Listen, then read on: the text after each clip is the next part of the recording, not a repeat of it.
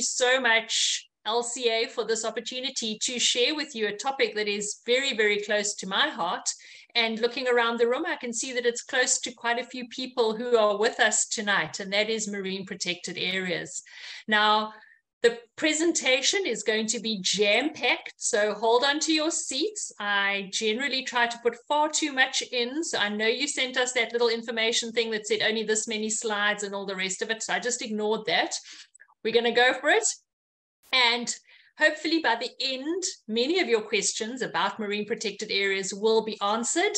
But if there's still some questions at the end, I'd be very happy to take them presentation today is marine protected areas in South Africa, what, why, where, and a little bit more. And I'm not putting my name at the bottom of this slide because this slide is really done on behalf of everybody who has worked so hard towards marine protected areas in South Africa. So I want to start off by acknowledging them all and saying thank you to all of them for their hard work, their photos, their commitment, and for their passion for our oceans. So let's start off at the very beginning with what are marine protected areas? Now, if we think about the land, South Africa, and you all know this because I've listened to quite a few of your presentations on LCA. South Africa is home to amazing biodiversity. In fact, we're one of the top global biodiversity hotspots. And you are all really familiar with some of the amazing animals that are found in South Africa. The reason for this incredible biodiversity is because we've got a whole range of different terrestrial ecosystems or biomes. We've got deserts and fynbos, we've got grasslands, we've got forests, and each of these different biomes supports a different set of plants and a different set of animals. And to protect this diversity, we have a whole range of different national, provincial, and private reserves. And these are situated around the whole country. And together they protect about 7.8, maybe a little bit more of our terrestrial surface area. So we've got protected areas on the far west coast to protect the Richtersveld, to protect deserts. We've got protected areas on the east side of the country to protect bushveld and protected areas around the rest of the country so that we cannot just only protect bushveld or only protect deserts or only protect fynbos. We want to protect in these areas a representative range of South Africa's biodiversity. Now, in the ocean, we also have incredible biodiversity, incredible plants, and incredible animals. And around our coast, we actually have an amazing number of different ecosystems or marine biomes. And this is from work that Kerry Sink and her team have done. So here you can see around the coast of South Africa, a whole range of different colors, and each of those different colors represents a different marine biome. Now, something that I need to point out to you right now is that little little arrow that you can see on the top right of your screen. And that says that is our exclusive economic zone. Now, that is the part of South Africa's sea that is actually under our control. So that stretches 200 nautical miles offshore. And this exclusive economic zone is the part of the seabed that South Africa has the responsibility for. So it's part of South Africa. We often don't think about it, but it actually is part of South Africa. We are responsible for its conservation. And that's what Kerry and the other scientists have spent a long time working on is just understanding which are the different ecosystems that we have out there. And you can see it stretches all the way from, if we look now, we've got on the east coast, we've got incredible coral reefs, amazing, amazing cities in the ocean that are based on the tiny little animals called corals. Down in the Southern Cape, we've got a completely different set of ecosystems supporting a different range of animals. Offshore, we've got a whole range of different species and animals, another set of different ecosystems. And even things like these sandy bottoms that don't look like they're supporting much, but are incredibly rich and important for fisheries productivity. So just like on land, we've got different ecosystems and we need a range of protected areas to protect them all. In the ocean, we have different ecosystems and we need a range of different protected areas to protect this ocean biodiversity. So very simply, what are marine protected areas? A marine protected area is an area of coastline or ocean that is specially protected for the benefit of people and nature. They're like underwater national parks, safe places for marine creatures and their homes. And we like to talk to them or call them the Serengetis or the, the Kruger National Parks of the ocean. Why do we need MPAs? I think that I've covered the first two points pretty well already. Our marine protected areas are able to protect a wide range of different habitats and species. But more than that, they're able to protect rare and endemic plants and animals. And I'm sure, Mike, you're really happy to see that I've got a coelacanth in this slide presentation. So that is one of the rare and endangered animals that endemic, uh, well, not endemic, but one of the rare animals that occurs up in the Isimangaliso Marine Protected Area. And then also importantly, MPAs help to protect animals in vulnerable life history stages. It could be where animals are spawning, where they're reproducing. If we take, for example, up in Isimangaliso, where the turtles are nesting, that's a vulnerable life history stage. And the marine protected area up there protects these turtles when they come up onto their beaches to nest. But it's not just about animals and about biodiversity. MPAs also have economic benefits. They help to promote tourism. They're very important, increasingly important in job creation. And as we see, coastal and marine ecotourism is one of the fastest growing of all the sectors of tourism. We're going to need increased emphasis on MPAs. And obviously, we'll see associated with that increased job creation. They also help to streamline the ocean economy in terms of how do we make decisions about where to do certain developments, where to do um, exploration, etc. So they do help to streamline the ocean economy. And we're really very much a part of the, the government's blue economy strive. MPAs are also important because they support use. They're really vital benchmarks to show us what nature looks like in an untouched state. So for research, MPAs are critical. And they're also important to support culturally important and historically important sites. We have a project running now that's looking at culturally important sites around the coast and how we can encourage the support um, of, of communities for these sites, how we can make people aware of these culturally important sites. And then again, really important for education. MPAs are wonderful outdoor classrooms to take children into. I know that LCA has a strong emphasis on environmental education, and environmental education is very close to my heart. In fact, one of the reasons I, I really became a marine biologist is because I wanted to share all the amazing animals that live on the rock pools with other kids and with adults. And that's really what MPAs are able to do. They're supporting through being wonderful outdoor classrooms and recreation. They're an incredible place for us to go to, to just relax and enjoy. So they're important for recreation as well. Now I'm going to get to one of the sets of benefits which talks around fisheries management. So Unlike terrestrial protected areas, which you put a fence around, in the ocean, we don't put a fence around a marine protected area. So we gave a whole set of benefits from MPAs that are so important for fisheries. So they're firstly, very importantly, safe spaces for fish to grow and to breed. Now, we've been doing research in our marine protected areas around South Africa for several years, and our research has shown that in areas without fishing, the fish are much more abundant. So, naturally, it makes sense. If you're fishing an area, you're going to have fewer fish. But inside a no take area in a marine protected area, you're going to have very, very more fish. So fish are more abundant in the no take zones of marine protected areas than outside. So more fish in MPAs mean better fish catches outside. And I'll explain to you how that works just now.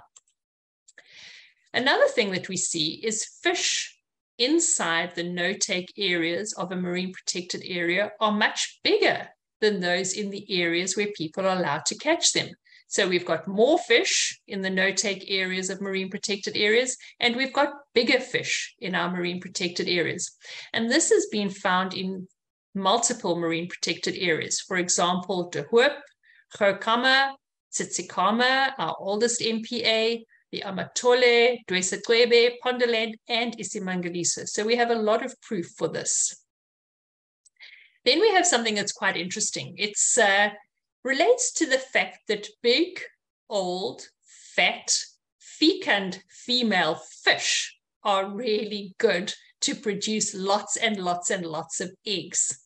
So if we leave females to get bigger and stronger in the marine protected areas, a big female can lay way more eggs than a smaller female. And you can see this work that's been done internationally that shows that a little 40 centimeter female will only produce hmm, 350,000 eggs. If you let that female get up to about 60 centimeters, she can produce about 3 million eggs. And not only can she produce more eggs, but her eggs and her offspring are genetically fitter because she's tough. She's survived all sorts of things happening out at sea. So she's got good genes to pass on. So this is called the Boff hypothesis. And what it says is that if we let the female fish get big and strong in the marine protected areas, she will lay way more eggs. Her eggs will be bigger with better survival rates, and her offspring will be genetically fitter, which is what we want. And then we have something called spillover because we don't have egg, we don't have fences around our marine protected areas, the fish that are in the marine protected area are able to spawn and they have egg and larval dispersal into the areas that are open to fishing. So when Bruce talks about this, he always talks about looking after your money in the bank. So you're looking after the fish in the marine protected area. And then you can fish the interest. So as long as you keep your capital in the bank, you can keep using the interest. But if you take that capital out of the bank, you won't have any interest. So our fish in the marine protected area are like our capital. They're important animals to look after because they will reproduce and then you can fish the interest. So more fish in MPAs mean better fish catches outside. And this research has been proven in also, as we've said, in many of our marine protected areas, we actually have the science to prove this. Another thing that's really important is that fish communities that are protected in no-take areas are more natural with more and bigger predators. So if you think of it, the fish that are caught out are generally the bigger, more aggressive fish. Those are the ones that the fishermen catch first. So you're left with a skewed ecosystem your natural balance is disturbed in areas where there is fishing. In areas that there is no fishing, you get a natural ecosystem. So you have some big predators, some of the next size, all the way down to the smallest. So we're able to protect a representative range of the animals that should be on an ecosystem or should be found in that particular ecosystem. So this is another bit of interesting research that's been done in several of our marine protected areas. We're starting to see just how much fishing impacts on the community structure. Moving on to another set of benefits, they should be models of fair and open governance. They're not always, but they should be, because MPAs can help to recognize rights and help to share benefits and also reduce conflicts. So an MPA that is properly designed through transparent and inclusive decision-making processes should actually help people and help to ensure that rights are fairly allocated. The next one we're starting to see increasingly now are the benefits of marine protected areas in the face of climate change. Our marine protected areas, for example, mangroves or coral reefs, are able to protect coastlines and coastal populations from extreme weather events, tsunamis, and coastal erosion. And I think that all of us on this call probably know a lot about the impact of climate change that we're starting to see. So MPAs are part of our, our toolkit of helping to mitigate the effects of climate change and reduce the impact on people. So to summarize, the fisheries benefits of marine protected areas first. We've got more fish, they're bigger, they have a higher reproductive capacity, they're more fertile. Remember those BOF females? They're genetically fitter. The capacity to produce spillover, which is that bit that says if you fish on either side of a marine protected area, you're probably going to catch more fish because of that spillover. They're more natural fish communities, they're more balanced. Research that's happening right now in the Tsitsikamma MPA and a couple of others is showing that the fish in MPAs are physiologically fitter.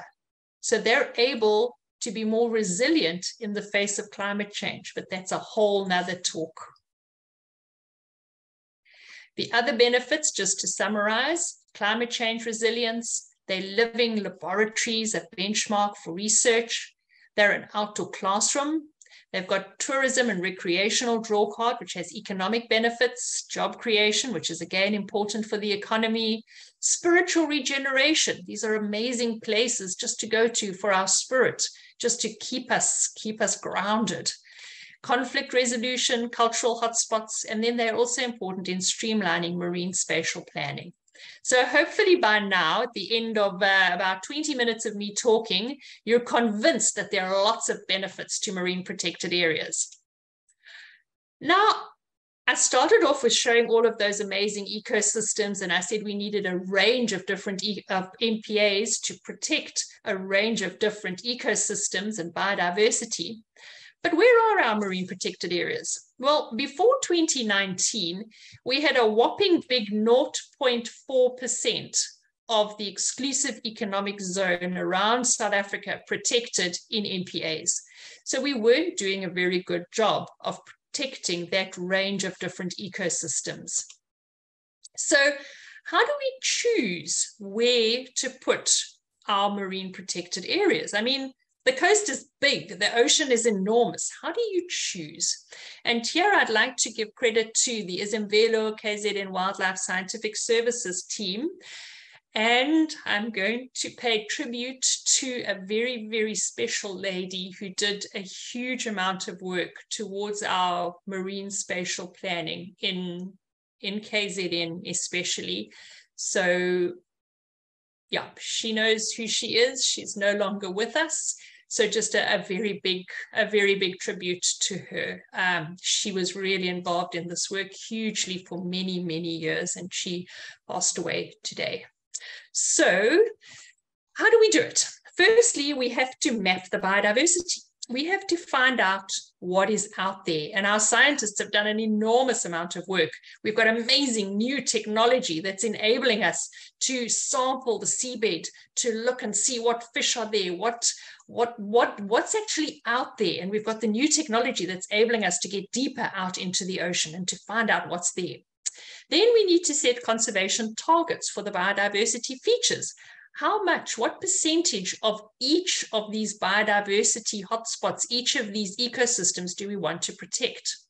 Then we need to say, what are the threats and the uses of the environment? So who's using what where?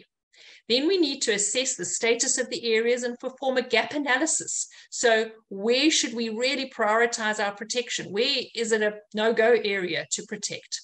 Then we use something that's called Marxan, which is very complicated software. I've got no idea how it works. Run the conservation plan, and that helps us to identify the priority areas to achieve those targets that we've set. And then ultimately, the next step would be the implementation of the MPAs, which is a huge, huge step. So I'm just going to take an example of the KZN coast of South Africa. So that would be just for an example, our planning domain, the area that we're looking at. The first thing is to look at the habitats. what's coastal, what's offshore, where are the estuaries, where are the coral reefs, where are the rocky reefs, where are the canyons. And then each of those could be subdivided further. Then we want to look at the species distribution. Where are the fish? Where are the mammals? Where are the turtles? Where are the invertebrates, etc., etc. So what is actually living in those different habitats? Then looking at processes. Where are the estuarine processes? Where are the eddies? Where are the areas of upwelling? Um, so what is actually happening out in the ocean? So really the scientists have got a very, very good idea of what's happening in this particular planning domain. The next thing they want to look at is who's using it where. So what are the patterns of use? And this is a picture of that KZN coast down. You can see on the left-hand side would be the coastline. And then the really red areas are the areas where there is lots of human use. So that would be ship trafficking, fishing, etc., etc. It's pointless saying we're going to put an MPA right in the middle of one of those hotspots. It's never going to work. So we've got to be able to look at what where people are using the ocean and make sure that we try to, to not influence those areas. You can see the hotspot around Durban, that ribbon development down the south coast, and then some of the fishing grounds. So where did we start with KZN? That was our MPA network right at the beginning, did all of that work, ran the plans, and this is what came up as the critical biodiversity areas that we wanted to protect. So critical biodiversity area one was something that we really, really had to get. And two, please, please, please, no matter how the negotiations work with MPAs, these are the ones that we really want to protect. And then optimal would be the biodiversity areas three. So you can see how much work goes in before we even get to the stage that says, these are where we would like the MPAs to happen. So all of that science happens. And then it goes through an incredibly long process of public consultation, talking to people, telling them what we're looking at, talking about why we need them, etc. And that process took many, many, many years. And here I need to pay tribute to another whole group of people who really helped to push this through the government process. And it, as I said, it took many years until ultimately on the 1st of August 2019, 20 new marine protected areas were implemented in South Africa. And that took our MPA real estate from 0.4% to 5%. And here there was a big team of people working behind the scenes with government, with oil and gas industry, with the fishing industry, with communities, and they put their heart and soul into this process. And there are very, very few countries in the world who can say they got 20 new marine protected areas at once. And I am so proud of our South African team for their dedication for really pushing to get us to this point. Now, I'm not going to go into this in a whole lot of detail, but what I do want you to know is that our marine protected areas, each one is zoned for different use. So when we say marine protected area, we don't mean nobody can do anything in the marine protected area. In some areas of the marine protected areas, you can fish. In some areas, you can't fish. You can do certain types of fishing in some areas and not in others. So there are fully protected zones where you're not allowed to do anything. And then there are controlled use zones where there are different types of fishing allowed. And we've produced some videos through South African Association for Marine Biological Research. And these videos can explain the zonation of particularly the MPAs that are in KZN. Now, there might be some of you that are going, hmm, is 5% such a big deal? Yes, 5% is a big deal because about 90% of our exclusive economic zone has actually been allocated to oil and gas companies for their exploration. So this 5% that we have is a big deal. It's really, really important.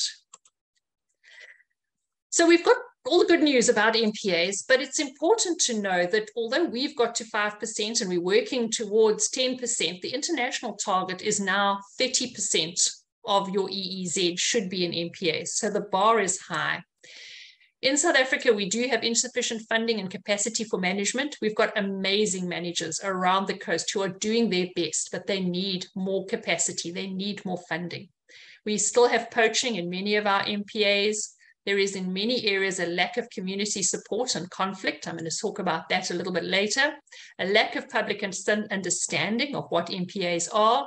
And then threats of mining and oil and gas exploration extraction is very, very real. So the seismic surveys, things that we were talking about in the Transkei Coast a little while ago, haven't gone away, and pollution is another problem. So I'm just going to quickly touch on two points. The one is lack of community support and conflict, and then the other one is public understanding, and I'm going to start with the second one first. So we did some research at the aquarium in Durban, and we asked our visitors to name three marine protected areas in South Africa. What we found was that about 80% could not name one marine protected area. Now, the reason we did this research is because at that time, we were really trying to support the team who were wanting to push the new marine protected areas through the government process and get them proclaimed. And we realized that we were telling people about these amazing marine protected areas, but 90% of the people, or 80% of the people we were talking to, did not know what a marine protected area was. They had never heard of a marine protected area. And in fact, if you look back at research on marine protected areas since about 1970, 60, all of the research, a lot of the researchers said we need to create greater awareness within the public about what a marine protected area is. It's really hard to get people to support something that they've never heard of. And that's why we launched Africa's first Marine Protected Areas Day in 2021. I know that all of you are involved in conservation, so you all know about these special days Arbor Day, Rhino Day, Oceans Day, Pangolin Day, Turtle Day, Jellyfish Day, Penguin Day. There seems to be a day for everything. But we realized that there actually isn't a day for marine protected areas. So we decided, as I said, in 2021, let's launch the world's first Marine Protected Areas Day. And can anyone guess why we chose the 1st of August? I'm hoping you're all remembering that it was the day that we got our new 20 MPAs proclaimed. So we put together a small team of people. We are still running Marine Protected Areas Day with a small team of people and with absolutely no budget, but we have amazing social media. So you can find information about MPAs and MPA Day on all of our social media side. We've also worked really hard on the mainstream media. I'm very excited that this morning we had our team on Expresso talking about marine protected areas. And this is really powerful because if we want people to protect and to care about the ocean, we've got to start somewhere. And talking about marine protected areas is one way place to start. Then we've also done lots and lots of activities. We've done webinars, we've done virtual tours where people have the opportunity virtually to actually see scientists, managers, and community members in the MPAs talking about the MPAs. We've got all the marine protected areas on iNaturalist. So any of you who are on iNaturalist, go on there and you could log with the BioBlitz your different animals that you found in marine protected areas. And we've had photo competitions. So lots and lots of hype about marine protected areas, lots of opportunities to engage with people about marine protected areas. Really importantly for us are the on-site activities. This year we had walks along the coast. We have had lots of work with school groups, which is so important. And then obviously aquarium exhibits we've also had. And then if you need to find out more, we've got two websites. The one is marineprotectedareas.org.za. And that in that website, you'll find information about all of our marine protected areas in South Africa. And then our mpaday.org website has got information that's more focused on activities and what's happening for Marine Protected Areas Day. And then we've got some amazing resources that we've put together. Some of the resources are for adults, for example, those fact sheets. We've got maps that people can download all for free from the SAAMBR website. And we've also got them translated and from English into isiZulu. And then we've got a whole range of kiddies books So we've got Cyril the coelacanth, we've got Buzi the butterfly fish, and those have all been translated from English into isiZulu as well. And we've got about six of those. Um, and these are really special resources that any teacher can use to teach about different marine animals. So we've got Cyril the coelacanth, Rupert the red steenbras, Kemsin the turtle, and they're, they really are cute, cute stories. We also have a couple of online resources for adults to use. Um, that little book you can see on the bottom right, you can download and use. This year, we celebrated Marine Protected Areas Day on Tuesday. It was a jam-packed day, and we're proud to say that in Tanzania, they had 70 people, just, uh, just over 70 people, for an online webinar with communities, with their managers, with aquaculture, with a whole group of different people, with tourism, and they were engaging with these people all about marine protected areas. So they had an amazing webinar. SANParks in South Africa did a webinar on MPAs. We had a webinar with uh, recreational fishermen. We had just about 100 recreational fishermen join us to look at the pros and cons. Two Oceans Aquarium did an amazing kelp night. We had a walk down the coast. So we really have had many, many more activities than ever before for MPA Day 2023. And we've had engagement across across the world, which is it's really exciting if you think that this is a day that was just started in South Africa. But not everyone likes MPAs. And there are many, many communities who do not like marine protected areas because they see them as, as grabbing of the ocean. They see people feeling like, or people having been dispossessed of areas where they would traditionally have fished. So marine protected areas are not the solution to every conservation issue that we're facing. They are one tool in our conservation toolbox. So we need to be able to really engage with communities far more effectively if I want our MPAs to be effective. There are many, many tools around the world available to help managers work with communities and to help managers make sure that marine protected areas work because without effective governance, MPAs are simply words on paper. And this is where we really need to start putting our emphasis. We've got our MPAs, we've got them proclaimed. We need to now make sure that we're working together with communities to make sure that these MPAs actually are effective. They're not what are just called paper parks. So it's becoming increasingly clear that MPAs are effective when they meet multiple goals. They need to meet conservation goals, they need to meet economic goals and they need to meet social goals. And I know that all of you have been working in conservation, or most of you are working in conservation, and you know that terrestrial protected areas have the same thing. We need to really make sure that our protected areas are able to meet all of those goals, which is a tall order, but I think that it's something that we can do if we're prepared to engage genuinely with people and we are able to put good governance structures in place that take into account the needs of the community as well as the needs of nature. For far too long in conservation, we have spent a huge amount of time studying the prey. And I use this slide very specifically because it was work done by a student um, in Norway. And Sayed actually looked at 46,000 odd papers that had been published in the fisheries field. And what he noted was that 43,000 of those papers were about the fish. Only about 3,390 were actually about the fishermen, were about the people who were impacting on those fish. And this was research that was done over about a 26 year period. If we want to manage fisheries, we need to understand people a lot better than we are. If we want to conserve nature, we need to turn around. We need to stop facing the nature that we love. We need to turn around from facing the sea and we need to face people.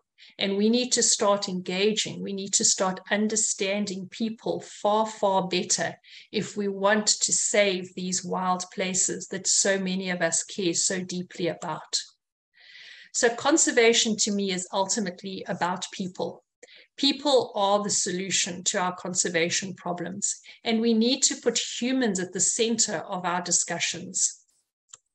Because caring for nature really means caring for people. And that's why I've been so excited to move my journey from studying fish to studying people, because I think that this is where we're going to find the solutions to many of our challenges. And my last slide is my favorite quote from Margaret Mead Never doubt that a small group of thoughtful, committed people can change the world. Indeed, it is the only thing that ever has. And here you can see photos of just a few of those amazing people who have dedicated their lives, in some cases, to our marine environment and to making sure that we protect it, not just for ourselves, but for future generations. Thank you.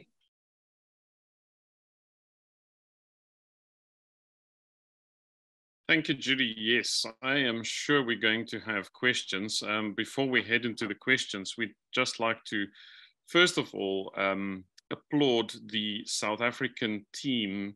And then right in the beginning, you said you're not putting your name on, on the first slide. You wrote the name of the team there who established this expansion of the marine protected areas in South Africa. Because it's an enormous achievement. You have to go through a whole lot of education, and a whole lot of convincing and lobbying and fighting bureaucracy to establish areas like that. So really congratulations to all of you who worked on that.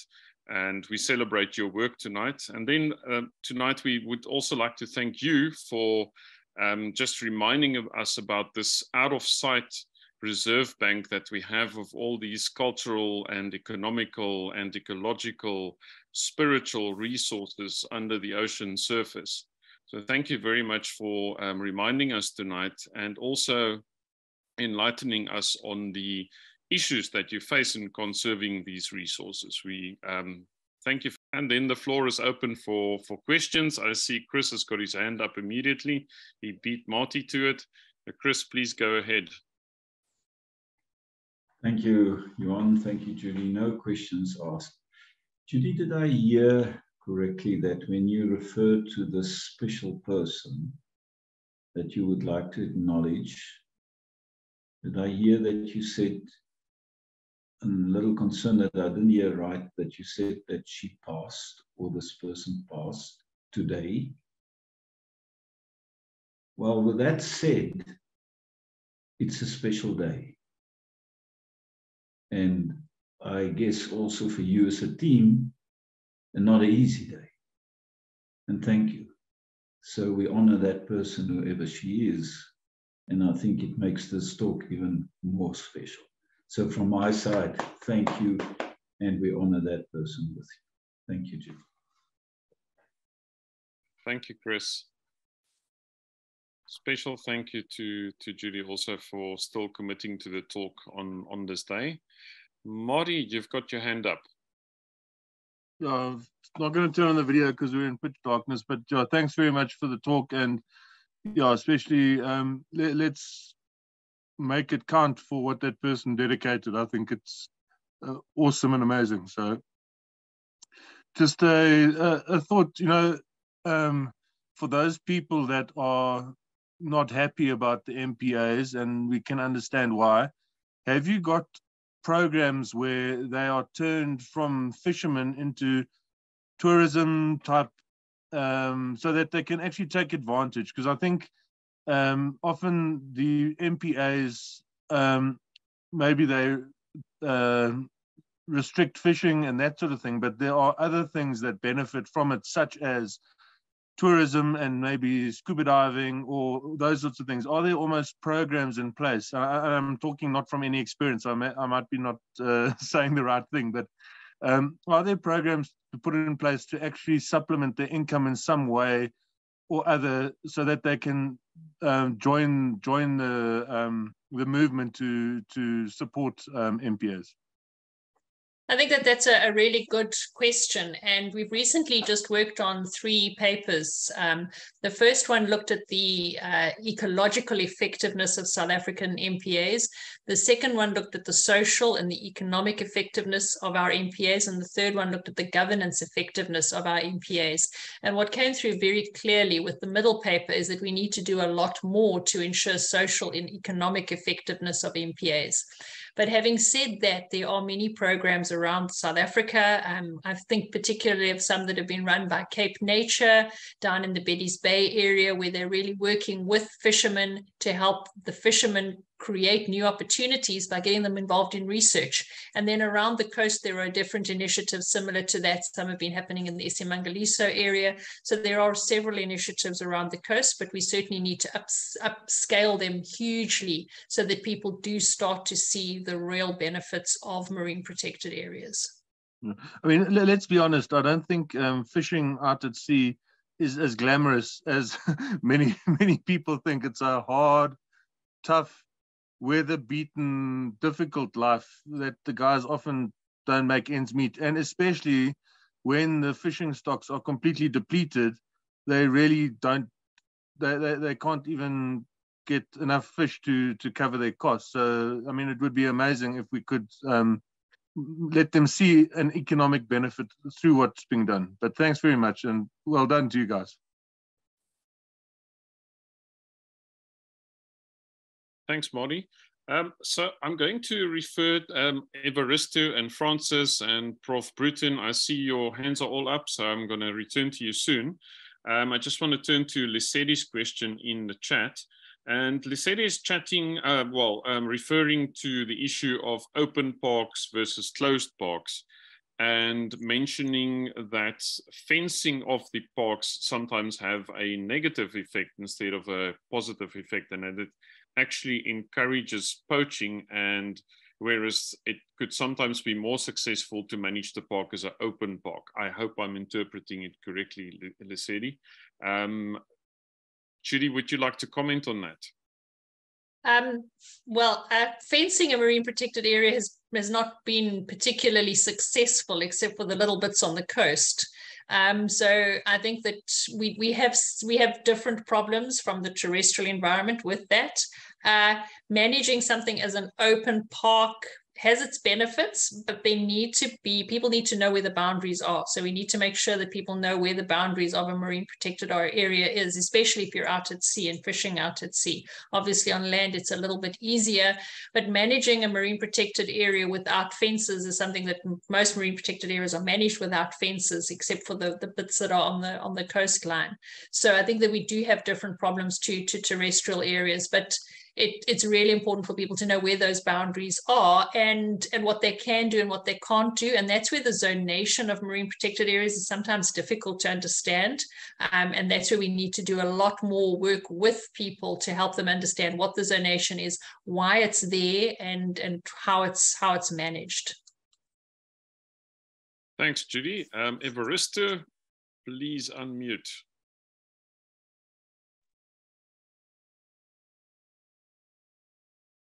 Evaristo, okay. you're welcome to ask your question.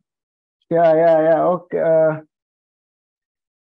congratulations, uh, Dr. June, for good presentation. Even though I have joined late, um, maybe due to time difference. but uh, my question is that apart from um, poisoning and maybe invasive species, what are other common problems that um, marine park are faced from, especially for coral reefs? And uh, Evaristo, did you say coral reefs? No, I said that apart from uh, poisoning and invasive species, what are other common problems that the marine parks are faced from it? Marine marine protected areas face many many problems. Um, the first ones really relate to to governance. So management of marine protected areas is expensive it's difficult it requires complicated equipment like boats it requires skilled people sometimes it's dangerous. So managing a marine protected area is difficult. Marine protected areas also require strong community support, which is sometimes difficult. We need to do a lot more work on communicating about marine protected areas, as I've said before, uh, things like pollution, poaching, uh, invasive species are all issues that we face in marine protected areas. So we do have a whole range of issues that, that marine protected areas do do have to overcome. We're we're looking at things like effective management plans for mpas so those are being put in place. So we're starting to take steps in the right direction. But yeah it, like any form of, of conservation we face a, a similar set of problems to what you probably experience with with terrestrial conservation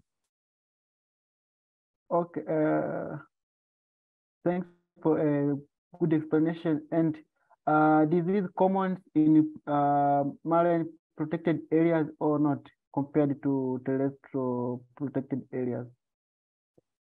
So disease is something that we do look at, and that's why understanding the physiology of fish, for example, is really important, making sure that, that the fish that are protected are, are physiologically fitter. So we're starting to understand that but I'm not aware of a huge amount of disease work around marine protected areas, but there is an increasing amount of work looking at invasive species with marine protected areas.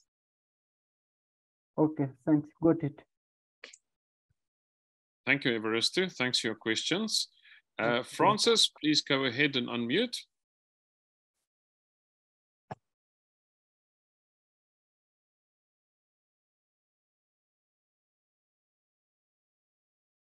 Francis, are you there?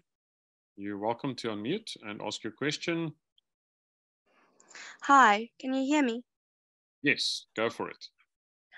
Um, how would you create awareness as a student who lives inland without annoying people who don't understand about MPAs? Good question. So, firstly, annoy them um, it's a it's a tricky one no i think that to to answer that it's looking at first step is is really learning as much as you can about marine protected areas. So using the resources that are available contact me if you want more information. We've got lots and lots of resources and we've worked really hard to make sure that those resources are accessible to people of all ages. So whether you're 10 years old 20 years old or 50 years old or older, um, the resources should be accessible to you. You should be able to use those resources and then make it fun. Uh, as, as scientists and as conservationists, we have, for probably most of our careers, told people how terrible things are. We have sold the doom and the gloom. We've spoken about climate change, we've spoken about declining species, we've spoken about the biodiversity loss. We've, we've told people these terrible, terrible things that are happening in the environment. And all that's happening is we're turning people against us. So I was reading a paper a little while ago that said that the people that are now being attracted into the natural sciences are people that are inherently negative because those are the stories that we've been telling for so many years, which I found really sad. We need to turn that narrative around. So when you're engaging with people about marine protected areas, we're talking about the positives. We're talking about what you can do in MPAs. And I can send you a paper we wrote last year that talks about how to communicate effectively about marine protected areas based on the research that we did at the aquarium in Durban. Um, so we've got a whole series of principles about how to engage with people in a way that is empowering empowering as opposed to being annoying. I hope that helps answer your question, Francis. It does, thank you. And then in response to that, how do you teach people about hippo? Okay, Francis, I think that we need to have a whole session on effective communication about conservation because I've got another whole presentation that I can do on that, which is based on the work that I did um, when I was studying, which was really looking at how to engage people more effectively about communicate well, about conservation and especially about the ocean. So I can give you lots of tips on that, but that's another whole talk on, on conservation psychology and communication. Thank you. Maret, could you please also um, send Francis the links to the um, share screen events on environmental education because she'll find a whole lot of resources there. Um, Mike, please go ahead.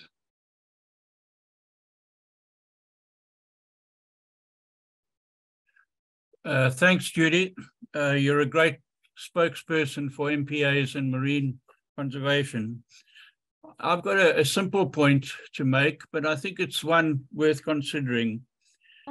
One of the most important things about getting landlubbers, which includes most people, is that they have never stuck their head under the sea.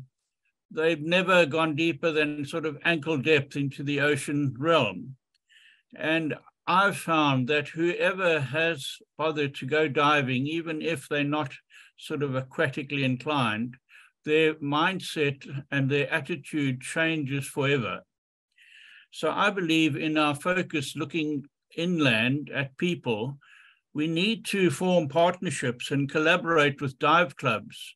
We need to promote recreational diving we need to do everything we can to get people to share the marine environment with us and, and witness the incredible diversity, not only of species, but of ecological relationships and functions that, that are going on there. I mean, on land, for instance, we have GoPros at waterholes in game reserves where people can sit at home and watch what's going on there. Why can't we put GoPros in, in biodiverse areas in, in MPAs, and maybe even in the ca canyons that the coelacanths frequent, to give people a taste of what's going on there? But no amount of videos and so on, on on TV can replace the actual experience of going underwater. And I think that should be part of our initiative. I couldn't agree more, Mike. And for people that can't get underwater, I've worked in an aquarium for 30 years where we're able to roll back that blue blanket and reveal to people the life under the ocean because we can't expect people to care for something they've never heard of or something they've never seen. So I fully agree with you. Thanks, Prof. Bruton. Much appreciated. Um, Prof. Liesel van us, please ask your question.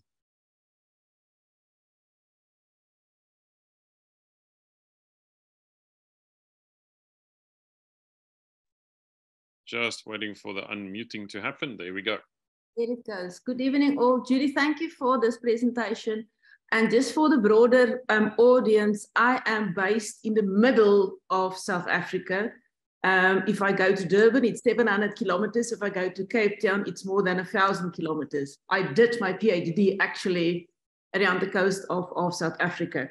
Judy, I was just wondering for the sake of the students and the question on, on the fencing, maybe briefly just give an overview of really what we're talking of if we say a marine protected area, the fact that it stretches from the high water mark, low water mark, and into the sea a couple of kilometers, and then beyond that, it, uh, the different laws um, kicks in with the maritime laws and stuff like that. And then, Mike, I echo you 100%. Um, if you really want to go forward, we need to put a different emphasis of all of us um, living um, inland. Okay.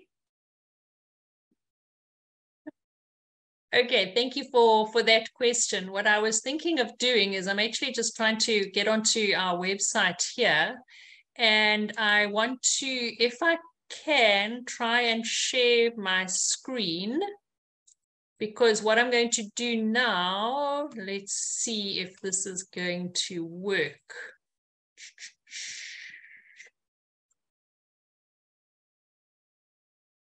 Okay, can you see um, my screen now? Yeah, it's working. Okay, what I'm going to do now is I'm going to go to, this is now on the SAAMBR, SAAMBR website, which changed about two days ago. And I'm just going to show you, um, oh, well, there we go. That won't help us at all. Page is gone. Uh, can you see this one over here? Well, actually, go, I'll go to this, the one in my presentation. There we go. Google Maps. Yeah, okay. I'm going to actually go to this one here. So I'll share this one since that one didn't work. Okay, uh, can you see one slide of my presentation?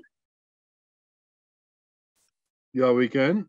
Okay, so just to talk to your, your question there, that slide is taken from a screenshot and what it shows is the coastline of the Aliwal Shoal Marine Protected Area. So this is the Aliwal Shoal Marine Protected Area. This is the KZN South Coast that stretches down. And then you can see that the marine protected area is not just along the coast. It stretches out into the ocean into that part of the South African coast that South Africa, the part of South African ocean that South Africa is responsible for, that exclusive economic zone. And you can see the different colors are the different zones. Um, so in each of those different zones, in a restricted zone, there are certain things that you can't do. In a green zone, there are certain things that you can and can't do. And in the orange zone, there are certain things that you can and can't do. So that's why we were asked about a fence. It's impossible to put a fence out into the ocean. So we can't put a fence out into the ocean. We could only have that little bit of a fence there, maybe, but then you can't really stop people walking along the beach, maybe there, but also we wouldn't put a fence there. So that is the marine protected area and it's stretching out into the sea. I hope that helped to answer that particular question.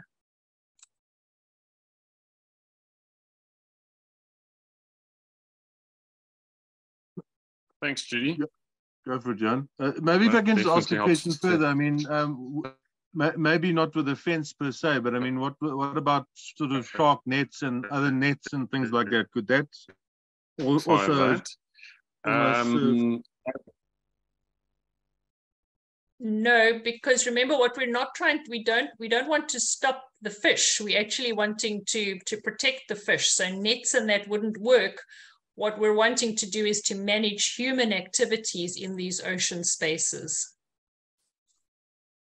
And then I have just put in the link a couple of links to some of the resources that you can find, um, some of those resources that I spoke about for education or for communication. I've just put the links into the into the chat.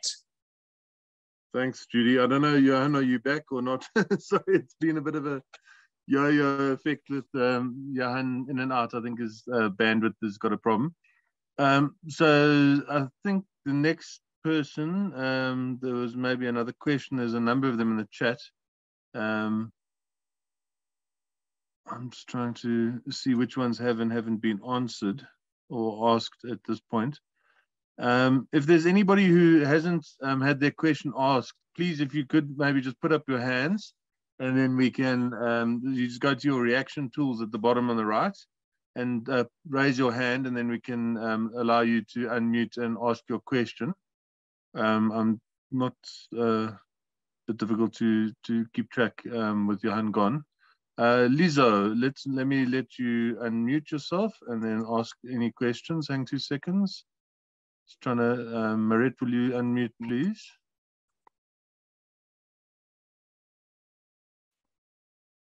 Yeah, good evening, uh, everyone. Thank you so much for this opportunity and amazing presentation on the MPAs of South Africa.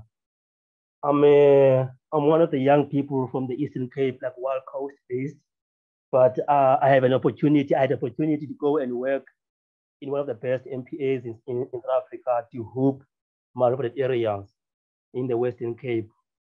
And I've been there for the past three years. I've met amazing people going there, looking at the whales, looking at the rocky shores, and, and, and loving the place and going back, giving feedback.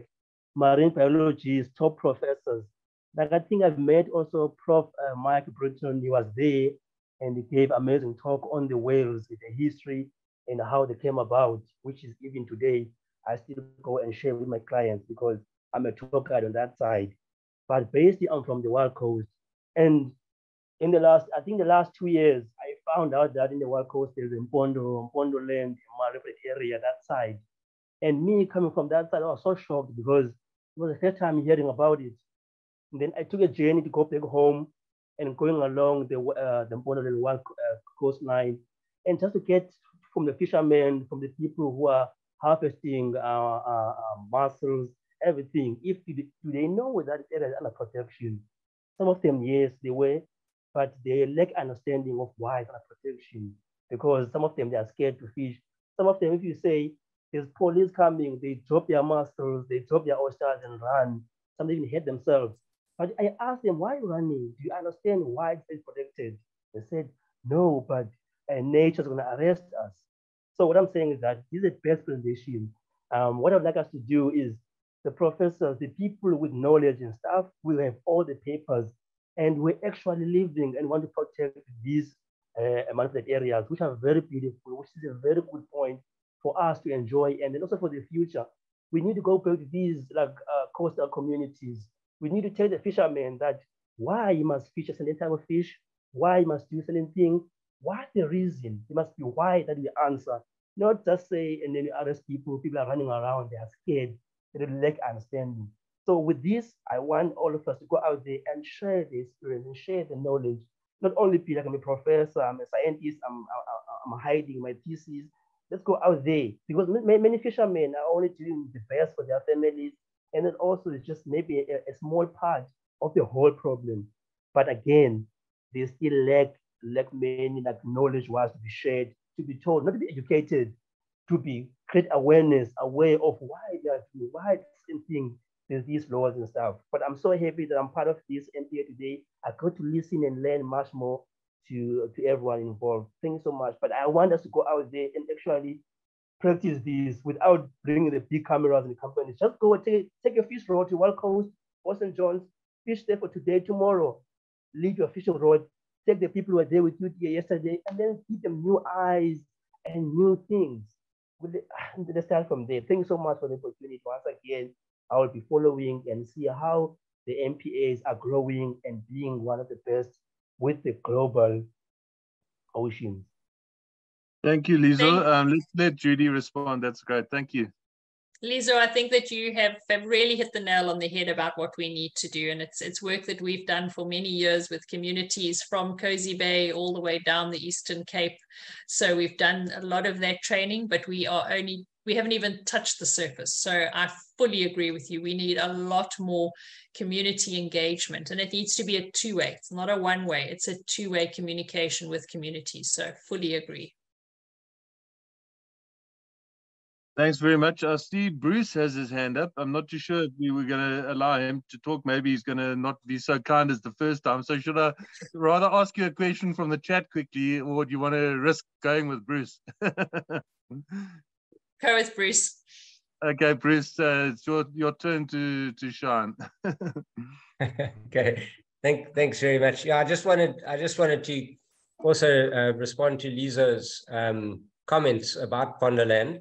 Um, I have been working there for sure the past 20 years, um, and I was um, involved in the original setting up of that that area.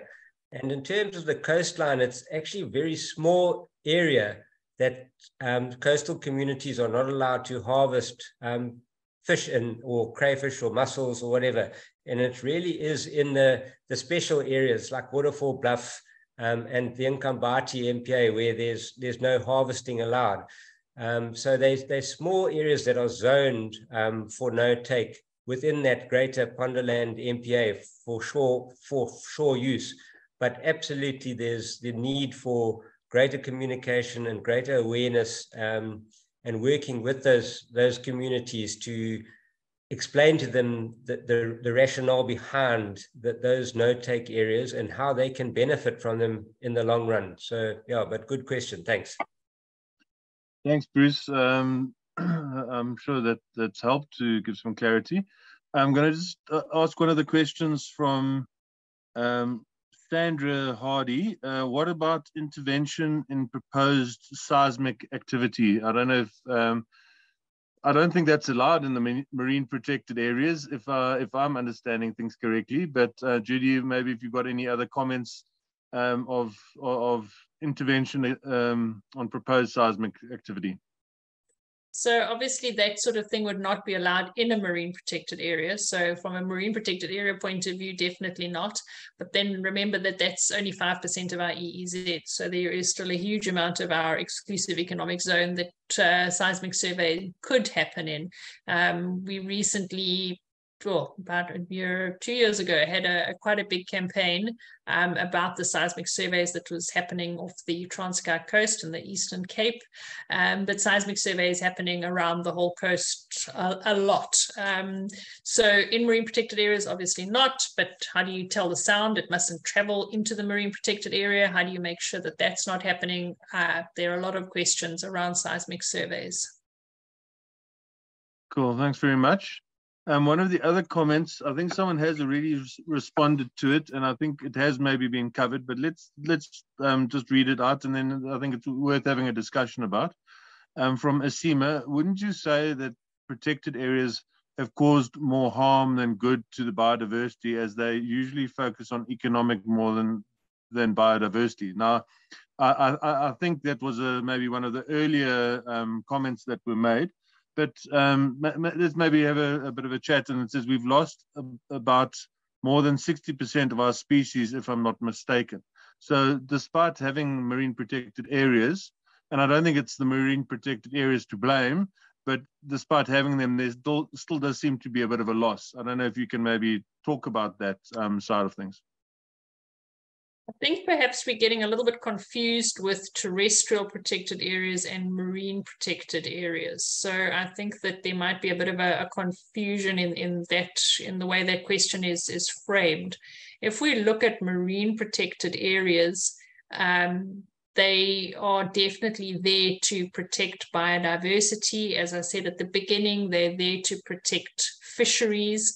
If you have a no-take zone in a marine protected area, you get that spillover effect that I spoke about, which has economic benefits, which has fisheries benefits. So I think that the, the, the focus has to be on making sure that the marine protected areas protect biodiversity, they protect fish, and then the benefits that come from that are the ones that I spoke about earlier. So I think that we just need to make sure we're not we're not confusing terrestrial protected areas and marine protected areas there. So just I'm not sure if I've really understood the question correctly. Uh, we, we haven't lost 60% of our biodiversity in the ocean, thank goodness. Um, so, or anywhere, I hope. Um, so yeah, I, th I, think there might just be a, a slight misunderstanding from, from that point of view. I'm not sure if I've helped to clarify it. No, no, that's cool, and I think that's why I wanted to ask the question because uh, clearly there is maybe a bit of misunderstanding. And Asima, maybe if you want to um, raise your hand and then ask your question, and we can help to to get clarity on that. Um, uh, has there been a, any sort of percentage loss that you can um, talk about in terms of marine biodiversity, or are, are, we still kind of doing quite well with with um, with what we with what we've managed to protect with the marine protected areas? Okay, to answer that, I'm actually going to call on Bruce because he was one of the lead authors of our ecological effectiveness of MPA's papers. So, Bruce, do you want to just give us the headlines of that one? Please. Sure, no problem. Um, yeah, the, what we looked at was ecological effectiveness of our MPAs. And I think virtually in every case um, where the research has, has been done and it was thorough, um, it showed that marine protected areas, if they're well enforced, um, and if they are, particularly if they no take, you do have recovery um, and increase in, in, abundance and size of animals. So definitely they, they do work, um, and if they manage correctly. Um, in terms of the question about species loss, some of our fishery species have been heavily overfished. So some of our fish stocks, uh, particularly our linefish, have been fished down to very low levels. Some of them are down below 5% of their historical levels of abundance. Um, but that's largely through through fishing and through other other um, habitat degradation, that kind of thing. And it really is um, one of the real strong points about MPAs is that we can help build back um, those um, stocks that have been really decimated um, in the past. Um, and already we're seeing some very positive results with some of our linefish species that have been protected in, in MPA. So it's it really is a win-win story. No, great. And I think those are great answers. And I'm glad it's being recorded because Asima appears to have uh, unfortunately dropped out, possibly load shedding or something, but she'll be able to uh, get those answers on the on the recording. So that, that, that's that's perfect. Thanks very much. Um, if there's no other hands up, I'm going to just uh, go through some more of the um, the questions that have popped up. Um, just a comment from Andy Klee. I know he uh, normally um, isn't shy to talk. So Andy, I'm not going to give you the the pleasure of, of me reading your question. You're going to have to talk yourself. I'm not that uh, gracious. Go for it. Oh, cheers, Marty. And thanks, Judy, for a, a fantastic um, presentation and a, an amazing amount of work as well that you and the team have done. So thank you for that. I'm, here in the UK. I don't know if I had much of a question. I think it was the engagement with people. We've um, been trying to do the same here in a small way in the UK using virtual reality headsets to chuck people underwater on our local um, marine area. I know it's not quite the same as getting wet and getting in, but it just makes that sort of experience so much more accessible. Um, and there are opportunities there. I suppose I have got a question that did pop up. Um, climate change and funding and opportunities like that. You know, there's carbon sequestration. So, oh, I can't even say it. It's carbon sequestration to be had with, you know, big fish, more carbon, healthy ocean environment, sucks down carbon. I don't know if that's an area you've explored um, to enhance the effectiveness and appeal of MPAs. But there's there's something in there. I, I don't know. I, I think that um, explaining MPAs from a climate change resilience perspective hasn't been that easy on the South African coast. So it's been difficult to find that link, but it's something that we certainly need to explore more. And we are starting to see more and more research. We had a webinar on um, Tuesday with recreational fishermen, and uh, Professor Warren Potts was talking about the research that he's done, where he's found that fish living in marine protected areas are far more resilient. They've got better genes in the face of climate change, so they're fitter, they're genetically fitter. So by protecting those fish, we're actually protecting fish stocks that'll be able to survive climate change much more effectively. Um, so there's that sort of research going on, but it's it's a tricky to to kind of really explain that easily at this stage, but we're getting there. We're working on it. So it is an important point. Yeah, I think the, the other part of that as well is just, you know, restoring seagrass and mangrove and all the other wonderful ecosystems. Um, mm-hmm. I know it's all linked. I mean, but mangroves suck carbon down like nobody's business. I don't know what, I can't remember the figures off the top of my head, same as seagrass. Mm-hmm. So there's quite yeah, a lot of yeah. interest in the UK. So again, it's, it's another avenue to try and get interest and funding for you. But there you go. I'll, I'll shut up. Thanks, Marty. Thank you. Thanks, Andy. Thanks for being a, a sport and uh, unmuting yourself. uh, cool. Cheers. Always good to hear from you. Um, there's, there's a comment here from Mark Addison. Um, uh, and uh, I think there's a few typos, but it says, I, I think in 2010, whale and dolphin watching was worth 2 billion US dollars. Eastern Cape needs this um, enabled to get local communities to benefit. And I think it's sort of linking on what I was asking earlier um, to maybe change the focus from um, suffering uh, fishing as opposed to um, being able to take advantage of other other um, things. And I mean, two two billion US dollars is a is a massive amount of money. Um, and that's really yep that's that's starting to look at the economic benefits what i've been actually just trying to do is i've been trying to find a website especially for the students that are, are with us tonight and the website i'm going to put into the chat now is a website that Kerry Sink and her team put together. And this website reveals all of those new ecosystems. So somebody put in the um, Prof. Liesel put Rocky Shore, Sandy Beaches, etc. part of MPAs.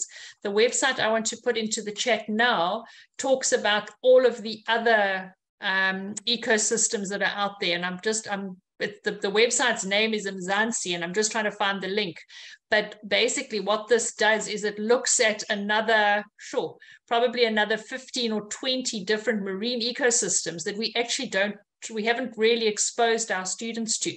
So we do rocky shores, sandy beaches, kelps, corals, rocky reefs, but there are a whole range of other ecosystems out there that, that we should start teaching our students about. So I will find the link and I'll share it with, with everybody on, on LCA um, to share it further because it is so exciting to be able to teach about new ecosystems that very few people know anything about.